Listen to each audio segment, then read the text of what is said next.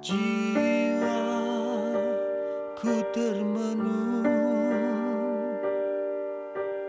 Teringat peristiwa kita tentang kau dengan dia. Ada saja yang tak kenal.